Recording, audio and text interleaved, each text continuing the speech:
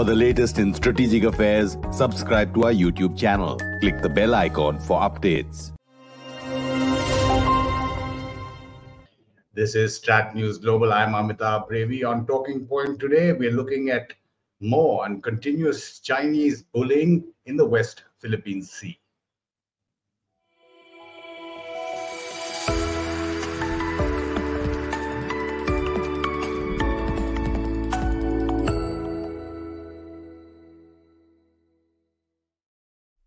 Warm welcome to all our viewers and a welcome from uh, Manila to uh, one of our regular panelists, Don McLain Gill. He's a lecturer at the Department of International Studies at the De La Salle University and is also co-editor of a book that was out a couple of months back called The Elephants Rise in the East. Don, thanks for giving us time again.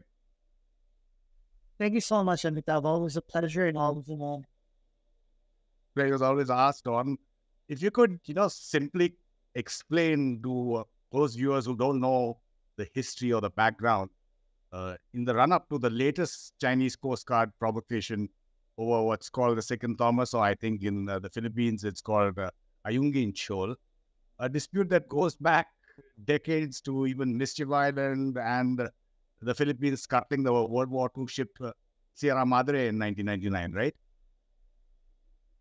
Right. Thank you. That's that's an excellent starting point. You know, it is it isn't even a question about legality anymore. Okay, so particularly the Ayungin Shoal, for example, lies within Philippine EEZ, you know, over which the Philippines has clear and undeniable sovereign rights and jurisdiction. The resupply missions to the BRP Sierra Madre, for example, are well in line with international law and UNCLOS. In fact, the 2016 arbitral uh, ruling affirms UNCLOS and in fact, based on general observable patterns, right? If we look into the past few decades, as exactly what you were just saying, such provocations are not new, all right? And they are not surprising either. This form of harassment, along with other gray zone activities that China continues to conduct within Philippine EEZ, is aimed at provoking Philippine sovereignty and sovereign rights directly without triggering issuing war or any sort of military guarantees under the treaty alliance with the United States. So when we look into the motivations of China, I think a general observation that we could look into would be in both internal and external variants, right? So you have a national system of governance in Beijing that largely banks on nationalism and nationalist sentiments. And engaging in such maneuvers, such as the most recent one, including the, the water cannon issue. And on top of that, uh, blocking uh, Philippine Coast Guard vessels in Philippine waters. You know, these sort of provocative measures that are not in line with international law continues to benefit the regime's seat of power in Beijing at a time when China is expected to further solidify, you know, its sphere of influence in Asia at the expense of U.S. leadership. Unfortunately, until a significant level of cost uh, will be imposed on such tactics that China continues to do, you know, China will continue to indulge in them, uh, particularly in the West Philippine Sea, to slowly cement its strategic position within Philippine EEZ while also slowly altering the status quo narrative to its favor. We've seen this in 1995 and in 2012. And just very briefly, you know, this was, uh, you know, China's recent assertion after the incident a few days ago uh, regarding uh, claims that the Philippines promised uh, to tow away the BRP Sierra Madre, uh, the Sierra Madre, uh, is an example of twisting the narratives because this was ab- abruptly rejected uh, by Manila because of its lack and absence of clear documentation or official agreement. So this is twisting the narrative, twisting the geography, and of course, twisting the balance of power to its favor slowly. As you point out, uh, President Marcos immediately denied any uh, agreement of the sort, this twisting of the narrative that you talked about, and said even if there was something of the sort, he was resigning it immediately. But just again, going back to uh, one of your earlier points about uh, the motivation of uh, China, China constantly testing, you know, across the, the globe. It's not just uh, here, but gauging how far it can go and gauging the reactions from, say, the Philippines and the US and how uh, Manila's response has been seen, is there a feeling that overall the Chinese, if they blink, it's only in the face of strength and uh, resolve?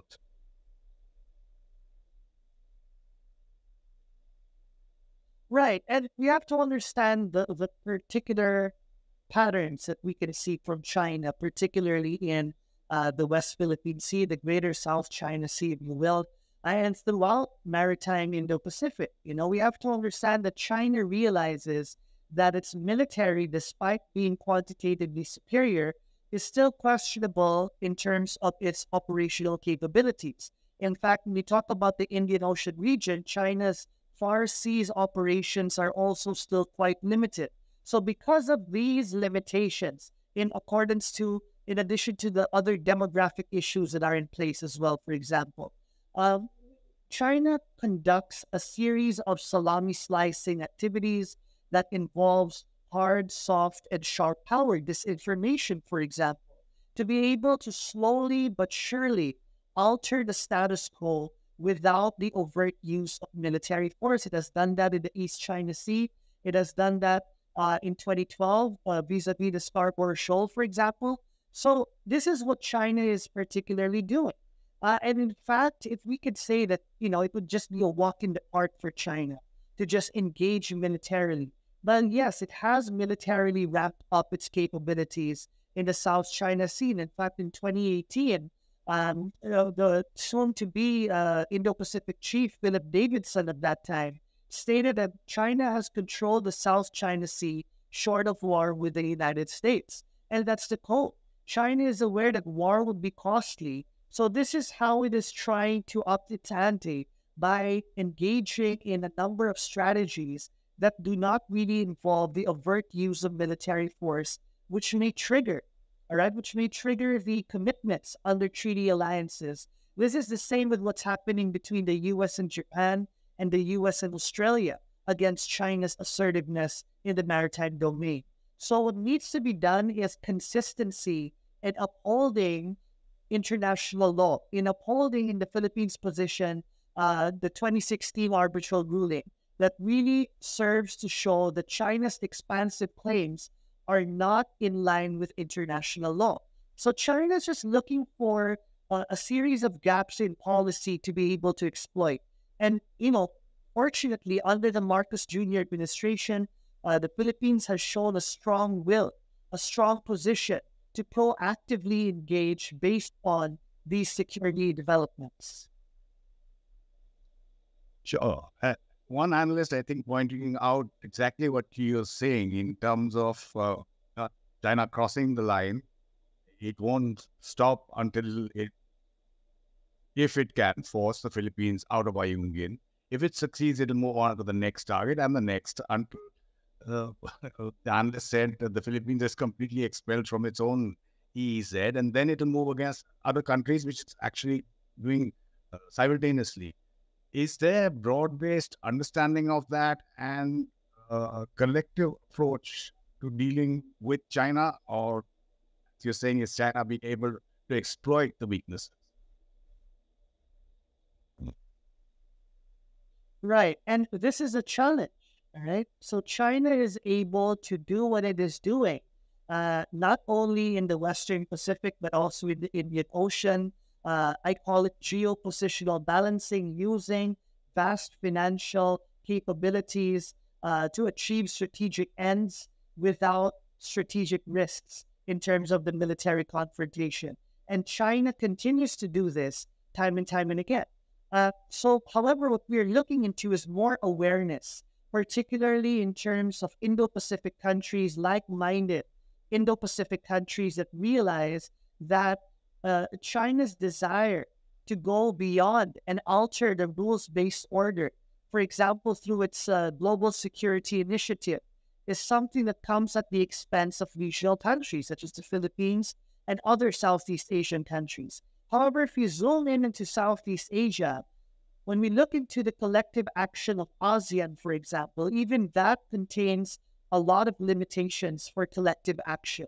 Now, this is one of China's strategies in order to further its strategic interests in the South China Sea.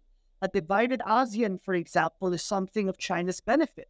However, Manila, since 2022, under the Marcos Jr. administration, was quick to recognize the large discrepancy between what China says at the political level and what it does on the ground. So the Philippines was quick to tap and leverage on its uh, traditional ally, the United States, not only deepening uh, its security engagements, but broadening, well, broadening it as well. You see the expansion of EDCA, for example, the involvement of a sinking uh, factory in the Balikatan exercises in 2022.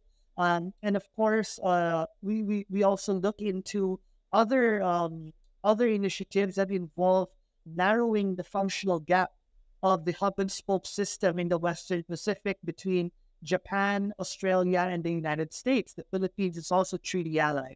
So it's trying to signal its intent to narrow that functional gap for collective measures. And in fact, Manila has also focused on enhancing its partnerships with non traditional partners. And this is where India also plays a significant role. In fact, uh, the Philippine India strategic partnership is well underway. It's going to it's going positively and this is a great sign of proactivity from the government. You're talking about international law.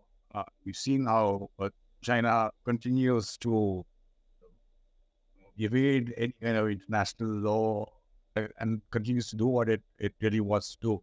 Just wanted to get uh, your perspective on where is the code of conduct uh, talks that are been going on for so long. Does it really help? And you also talked about the US treaty. Now, that is only triggered, like you said, the Chinese don't cross that line, right? When there's either damage or death after shots are fired. Right. Uh, very briefly on the treaty alliance with the U.S., it is true the gray zone tactics that fall short of war or short of uh, you know military escalation is something that continues to challenge uh, the significance of this treaty particularly against Chinese assertiveness, while there are talks ongoing on how to include certain gray zone tactics within the guarantees, it is still not clear how this will be done. Now, regarding the code of conduct, there's another issue here. You know, China is now significantly altering not only the balance of power, but also the geography of the South China Sea to its favor. And the question here is will China still need a code of conduct? Would it look at it more favorably or as a means that may suppress its already um, uh, growing power projection capabilities in the South China Sea? And since the 21st century, China has stopped providing concessions. As it continues to grow, as it continues to strengthen, it becomes more unwilling to compromise. The DCOC, for example, in the early 2000s, still reflected a little more um, uh, restraint on China's on China's side, particularly towards Southeast Asian countries. So it agreed, okay, let's make this sort of informal framework that may lead to an official code of conduct. But as you all know, the code of conduct is still nowhere to be seen. And the question is if there would be a code of conduct in a likely scenario, would it still have the necessary tools and instruments to manage China's growing assertion? That's another question because China is against uh, certain proposals of the Code of Conduct, for example, in mentioning the 2016 arbitral ruling, and that really ro- rules out its historic claims that are not in line with international law. And with the way things are going right now, it may be difficult to convince China to restrain its capabilities or its movements um, through a code of conduct that would be binding. So that's another issue. So the press, there are two scenarios here. So either the code of conduct does not really materialize, or if it does materialize, it may not be as effective as we all hoped that it would be. So this is another issue that we are facing with the code of conduct. Right. I mean, we've seen bilateral agreements and treaties with India, which have been, you know, over the decades signed with the Chinese, which are virtually being torn up anyway. But it's just interesting that these this latest round of hostilities comes soon after the Chinese envoy in the Philippines offers, informally, I believe, uh, to have uh, joint military drills or exercises. Now, what's uh, all that about? Is that diverting? Right. And, and, that's a very interesting question. You know, that idea was floated on the 96th anniversary celebration of the PLA. The Chinese ambassador floated the idea, right? And the AFP, the Armed Forces of the Philippines, said that it would not close its doors to such a proposal. It would be under study, under scrutiny. But we have to understand, all right? Defense diplomacy has significantly increased in its utility in both east in its utility in both on operational front, bilateral military drills allow countries to increase uh, their mutual awareness and familiarization about each other's military technologies. This creates a functional opportunity to train with each other's crew to address common issues. On the symbolic front, however, uh, this is also more important that it uh, signifies the bilateral military exercises as important sources of strategic signaling, often against a third country that is perceived as a threat. Now, given the sensitivity of these exercises, they also demonstrate how militaries from both sides possess common goals in the region. However, we have to understand that conducting military exercises does not really provide incentives or benefits right away, right? They're not automatic and they would depend on uh, the conditions, the existing conditions of bilateral uh, relations, particularly in terms of having a strong foundation of trust, transparency, and communication. However, at the most basic level, Beijing continues to veer away from being a trustworthy neighbor. Uh, grave inconsistencies, such as when President Marcos Jr. met President Xi Jinping in January 2023, there were pledges to alleviate the discord at sea but days after, or rather weeks after, provocations by the Chinese Coast Guard in the West Philippine Sea occurred. Days after the Chinese foreign minister's visit to Manila, the same provocations occurred days after again. And interestingly, you know, a goodwill visit from China to Manila came just two months after a veiled threat uh, against OFWs or overseas Filipino workers in Taiwan by China. So there is a lack of transparency and accountability. All right. So in fact, China even refused to pick up the hotline uh, after the uh, the most recent altercation, and it was there for a particular reason, right? So the lack of transparency and accountability, and the ability to switch narratives is also worrying in terms of strengthening security ties with China, right? So while it may be arguing, however, that joint drills may be limited to a non-traditional security realm, you know, that does not involve the West Philippine Sea.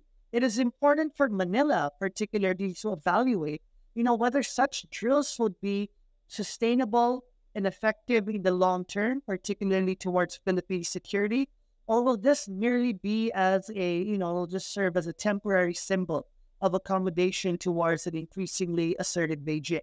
So these are the questions that we need to roll out. So in theory, it may be possible but if you look into its benefits and long term sustainability, that may be something that you'd like to question. You mentioned on uh, President uh, Marcos's trip to Beijing in January 23 and meeting with Xi Jinping and other leaders. But how is his policy uh, perceived in uh, China? He clearly seems to be, as you mentioned earlier in this discussion as well, pushing for more cooperation ties with the US but is there also a perception that the Philippines is being drawn into the US China confrontation? And uh, linked to that is how is he seen vis a vis his predecessor, um, President Duterte's policies? Right. And in fact, uh, that is the common narrative within Beijing. If you look into the Global Times, for example, uh, that the Philippines, for example, is being seen as a puppet of the West uh, this is seen as a common narrative within uh, China. Uh, and in fact, we have to understand that China is aware and well wary of a situation where the Philippines will continue to work with the United States at the expense of China's narrowly driven regional ambitions. And in fact, uh, you mentioned about former President Duterte. Uh, he, in fact, met President Xi Jinping in Beijing also uh, just a few weeks ago. And President Xi Jinping uh, talked about uh, promoting friendly relations with the Philippines as a necessity. But again, days after, uh, you have this uh, water cannon incident that occurred. So it is not about being a source of insecurity for China. The Philippines has already made its point clear that it wants to be and maintain cordial relations with China, right? Because it is our largest neighbor. We cannot just cut off our largest immediate neighbor, but it would not allow itself to be subjected to China's narrowly driven designs. And this is where proactivity in terms of strengthening its defense network, uh, enhancing its uh, maritime security initiatives, uh, and fast tracking its military modernization program. All of this play a role in securing Philippine sovereignty and sovereign rights. And this is a defensive position against an increasingly assertive China, but China tries to flip it into something offensive. But that's not the case. And no one really can be, uh, you know, that gullible to believe that this is an offensive posture. This is clearly defensive in terms of securing Philippine sovereignty and sovereign rights based on international law. But again, this is something that is not considered pleasing to China.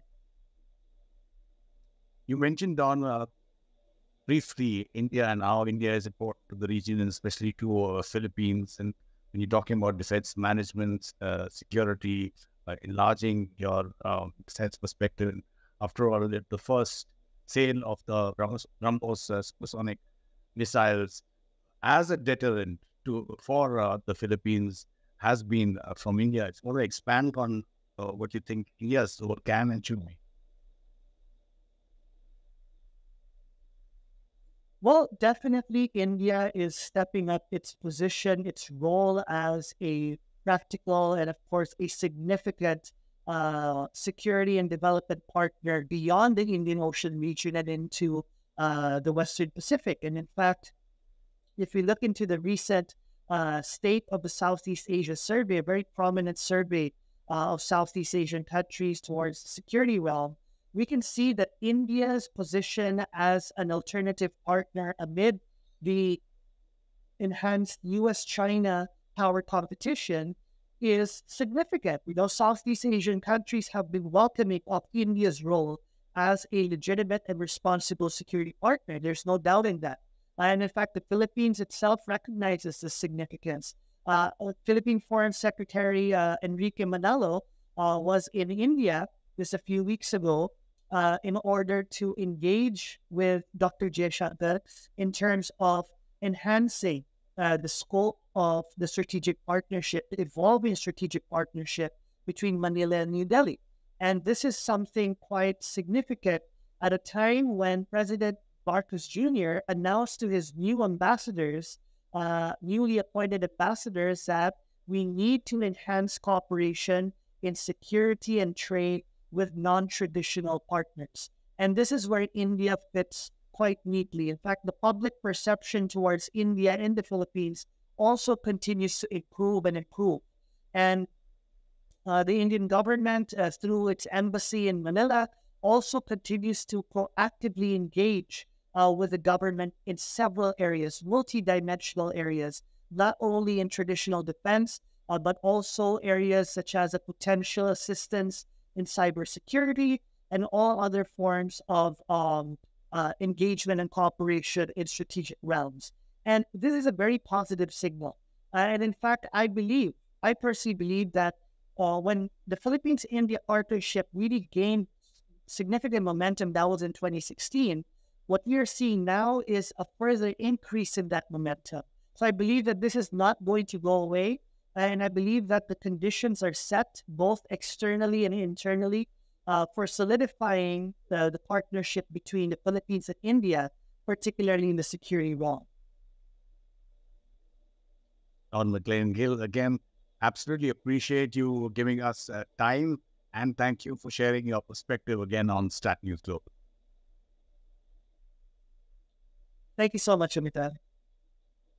And for all our viewers to follow our social media handles, uh, to follow our Telegram channel. You will get updates when we put up articles on our website and interviews like this with Don Gill on our YouTube channel. This is Talking Point on Strat News Global. I'm Amitabh P. Revi.